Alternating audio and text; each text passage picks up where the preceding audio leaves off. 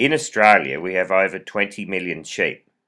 They all need to be shorn at least once a year. Sometimes they need to have their bums cleaned up. This is called crutching. Chris the sheep has been fly blown, so I cleaned up his bum a week ago. Now he's fit and strong again. I'll show you how it all works. After you've had a competition in the catching pen and you manage to tip him over and drag him out, it's time to straighten your back and have a little spell. So now Chris is sitting comfortably in position. First of all we'll shear his left front leg. This wool is called shang and is very different to the wool on the rest of his body. Now it's time to shear off his belly. This is tricky, so we'll do it real carefully. The wool is of a good quality but often has a lot of burr in it. A little bit of work on the first back leg. The back leg has some matted wool called pieces.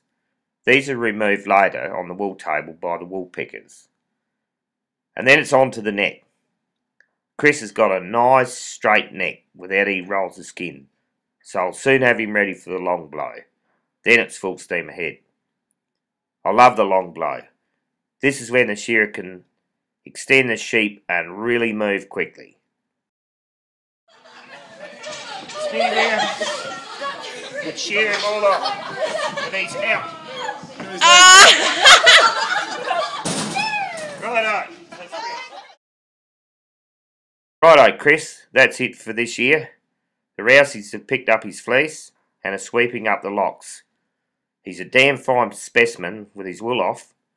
I'm hoping for a good price this year, as his fleece was a real beauty.